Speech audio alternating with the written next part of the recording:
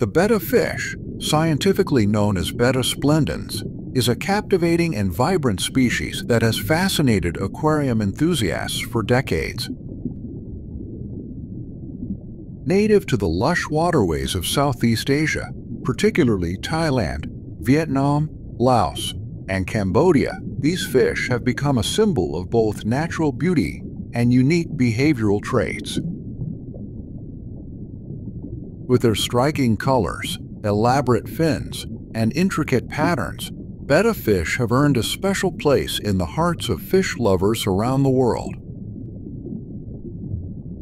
One of the most striking features of betta fish is their dazzling appearance. Betta fish come in a wide array of colors, including vivid reds, blues, greens, and purples. Their bodies are often adorned with iridescent scales that shimmer under the light, creating a mesmerizing display. The fins of betta fish can vary significantly between individuals.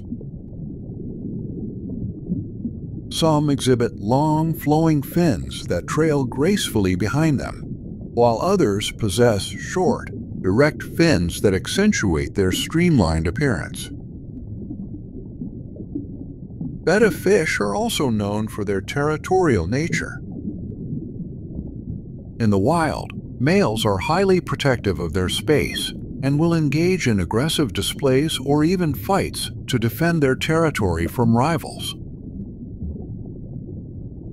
This natural behavior has earned them the nickname Siamese fighting fish as they have historically been used in fish fights, a practice that is now discouraged in favor of more humane treatment. While betta fish are often admired for their vibrant appearance, their behavior is equally fascinating. Male betta fish, in particular, are known for their territorial aggression. In the wild, males will engage in elaborate displays of fin flaring and bubble blowing to assert dominance and establish territory. This behavior is a natural part of their social interactions and is often observed in home aquariums as well. To prevent stress and conflict, it is generally recommended to house male betta fish individually. However, female betta fish can sometimes be kept together in groups known as sororities, provided that the tank is large enough and contains ample hiding spots.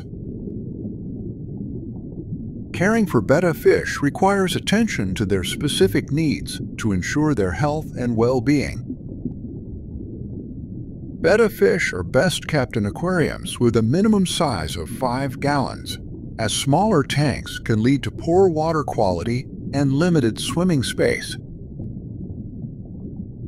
They prefer warm water temperatures, ideally between 76 and 82 degrees Fahrenheit, and benefit from a stable environment with minimal fluctuations.